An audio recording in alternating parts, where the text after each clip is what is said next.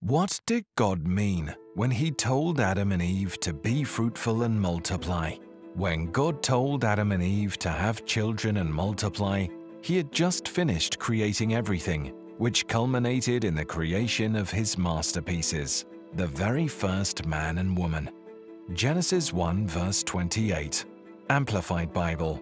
And God blessed them, granting them certain authority, and said to them, Be fruitful, multiply, and fill the earth and subjugate it, putting it under your power, and rule over, dominate, the fish of the sea, the birds of the air, and everything that moves upon the earth. You see, the system of fruitfulness is tied to the word fruit, and we see what God did in verse 11 of Genesis. The third day's activity focused on the formation of the dry land and the sea, as well as the process of making the earth productive.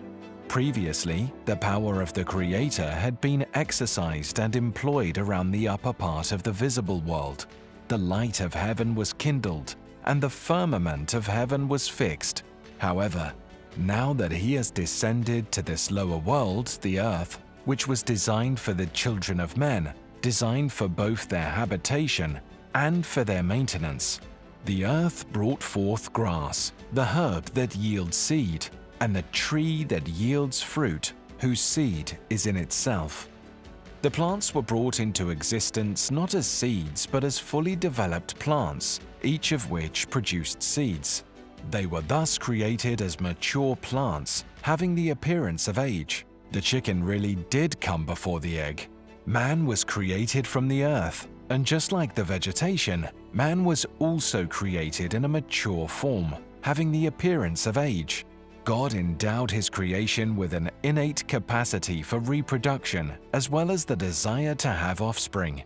God reiterated this instruction to Noah after the flood had submerged the entire planet, the Lord said to Noah, his sons, and the sons of his sons, Genesis 9 verse 7, Amplified Bible, As for you, be fruitful and multiply, populate the earth abundantly, and multiply in it. In both these instances, the Lord gave the injunction for mankind to increase their population by having and raising children, now that the world had days and nights, seasons and years, plants and animals, Adam and Eve, and other living things, God set into motion his plan to populate the world that he had just finished creating with people. Isaiah 45, verse 18, Amplified Bible.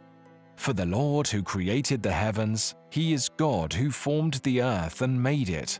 He established it and did not create it to be a wasteland, but formed it to be inhabited, says this I am the Lord, and there is no one else. As stated at the beginning of Genesis 1, verse 28, it was God's blessing for Adam and Eve to have children and work the earth. The world was Adam and Eve's inheritance, and they were charged with the responsibility of populating it.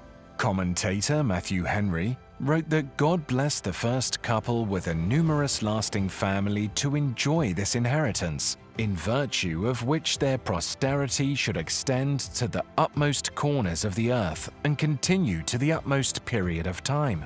To put it another way, God wished for Adam and Eve to have many children, and he also wanted their children to have many children. But fruitfulness can also refer to a great many other things. It was never God's plan for Adam and Eve to simply produce offspring for the sake of doing so. Be fruitful and multiply, fill the earth and subdue it, have dominion. In addition, God assigns responsibilities to man, one of which is to carry out his will regarding the exercise of dominion over the earth. The idea that man should have children, spread out across the land and populate it, is completely implicit in this command. If the earth is not populated, then man will never be able to fulfill God's plan for him on this planet. Additionally, God gave mankind a desire for sex, which would make populating the earth quick and likely. Many people, however, have mistakenly believed that the sole or primary purpose that God had for sex was for humans to be fruitful and multiply. This is not the case. God's primary intention when he created sex was for it to play a role in the formation of a one flesh relationship. Animals engage in sexual behavior solely for the purpose of procreation, whereas the sexual responses of humans and animals are strikingly dissimilar in a number of ways. For example, humans engage in sexual sex in private. Only humans continue to have intercourse after the end of fertility, making humans the only species to do so. None of these uniquely human aspects of sex are necessary for reproduction, but they are all beneficial as a tool for bonding. Genesis 9 verse 3, Amplified Bible. Every moving thing that lives shall be food for you. I give you everything as I give you the green plants and vegetables. In the remainder of Genesis 1 verse 28, we see a useful and desired result to fill the earth and subdue it, and have dominion over the fish of the sea, and over the birds of the heavens, and over every living thing that moves on the earth. Was the command to be fruitful and multiply that was given to Adam and Eve as a blessing also intended for us to follow today? Some take this view and believe that we are just meant to fill the earth without planning. But if Genesis 1 verse 28 was a blessing upon mankind in general, we see this when looking to the New Testament. First, during his 33 years of ministry on earth, Jesus did not have a wife or any children of his own. As a Jew, Jesus was brought up in accordance with the rules and traditions of Judaism, and he perfectly satisfies the requirements of God's law. Galatians 4 verse 4 But when in God's plan the proper time had fully come, God sent his Son, born of a woman, born under the regulations of the law. Matthew 5 verse 17 Do not think that I have come to abolish the law or the prophets. I have not come to abolish them, but to fulfill them. However, Jesus did not physically bear fruit, and neither did he multiply, which indicates that the command found in Genesis 1 verse 28 is not one that every person is obligated to follow. Along with this, Jesus said that virginity is a personal choice, neither condemning it nor praising it above marriage and childbearing. Matthew 19 verse 12 Amplified Bible. For there are eunuchs who have been born that way from their mother's womb, making them incapable of consummating a marriage. And there are eunuchs who have been made eunuchs by men for royal service. And there are eunuchs who have made themselves so for the sake of the kingdom of heaven. He who is able to accept this, let him accept it. Second, the Apostle Paul exhorts Christians that it is better to stay single than be married that it is so that they can devote their full attention to serving God. 1 Corinthians 7 verse 38 So then both the father who gives his virgin daughter in marriage does well, and he who does not give her in marriage will do better. 1 Corinthians 7 verses 32 to 35 But I want you to be free from concern. The unmarried man is concerned about the things of the Lord, how he may please the Lord, but the married man is concerned about worldly things, how he may please his wife, and his interests are divided. The unmarried woman or the virgin is concerned about the matters of the Lord, how to be holy and set apart both in body and in spirit. But a married woman is concerned about worldly things, how she may please her husband. Now I say this for your own benefit, not to restrict you, but to promote what is appropriate and secure, undistracted devotion to the Lord.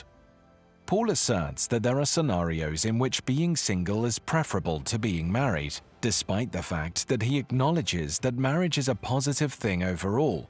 Under the inspiration of the Holy Spirit, the Apostle would not encourage us against bearing fruit and multiplying if that were one of God's direct commands. Whether or not we choose to have children, we are still able to live lives that are pleasing to God and that bring Him glory. When we obey Jesus' command to go and make disciples of all nations, we have the opportunity to be spiritually fruitful and to increase the number of people who are citizens of the kingdom of God. Matthew 28 verses 16 to 19. Now the eleven disciples went to Galilee, to the mountain which Jesus had designated. And when they saw him, they worshipped him, but they doubted that it was really he. Jesus came up and said to them, All authority, all power of absolute rule in heaven and on earth has been given to me. Go therefore and make disciples of all the nations. Help the people to learn of me, believe in me, and obey my words, baptizing them in the name of the Father, and of the Son, and of the Holy Spirit. The directive to have and raise offspring to occupy the earth was a part of God's plan. This is a truly amazing invitation to participate alongside Him in the act of creation. However, the responsibility does not disappear after that point. It is the responsibility of parents to instill a love of the Lord in their children and to teach them to follow His counsel and instruction. We see how the Word of God makes it clear that Abraham would raise his children in the way of the Lord. We also read in Ephesians 6, verse 4, Amplified Bible Fathers, do not provoke your children to anger, do not exasperate them to the point of resentment with demands that are trivial or unreasonable or humiliating or abusive, nor by showing favoritism or indifference to any of them, but bring them up tenderly with loving kindness in the discipline and instruction of the Lord. Being a parent is a chance to participate in God's plan for humanity in a unique way that can leave an influence for generations. The conclusion that God came to after completing his work of creation was that it was very good. God was pleased with his creation, and so are we. When God pronounced the creation good, he really meant it. At the time, it was entirely good. There was no death or decay on earth at all.